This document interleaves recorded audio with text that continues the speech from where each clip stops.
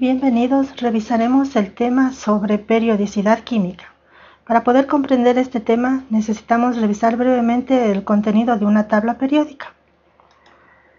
Podemos observar que en la tabla periódica se encuentran los símbolos. Estos símbolos eh, actualmente existen 115 y en la actualidad siguen, siguen descubriéndose algunos. Estos símbolos eh, se refieren, pueden ser de venir de frases latinas o también de palabras alemanas y a su vez estos tienen el nombre de la persona que los descubrió. Tenemos aquí los metales y los no metales y también algunos eh, elementos químicos que se encuentran en transición.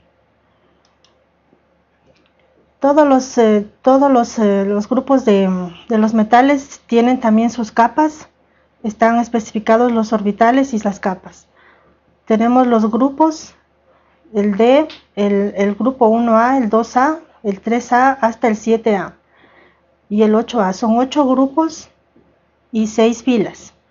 Con toda esta información necesitamos para poder realizar siguientes, la siguiente explicación. En la tabla periódica vemos el nitrógeno que tiene 14.0067 que es la masa atómica y 7 es el número atómico. Toda esta información se la necesita para poder realizar lo que se refiere a las masas atómicas. La tabla periódica, eh, dentro de los metales, los metales tienen un lustre metálico brillante cuando se pulen, no se combinan unos con otros, reacciona con los no metales. Los no metales se encuentran en dos gases conocidos, el nitrógeno y el oxígeno, se combinan unos con otros para formar los diferentes compuestos. En esta tabla podemos ver brevemente el, estado físico de los metales y no metales a temperatura ambiente. Por ejemplo, en los metales todos los metales son sólidos excepto el mercurio. Y en los no metales hay sólidos, líquidos y gases. En cuanto a la conductividad, los metales son buenos conductores y los no metales son malos conductores. En cuanto al lustre, la superficie de los metales es brillante y, y los no metales es opaca.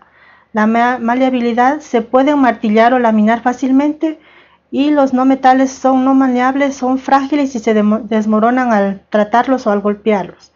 La ductibilidad se pueden estirar, acá no se pueden estirar. Y en cuanto a la dureza son duros y otros son blandos. En su mayoría son duros excepto el diamante. Gracias.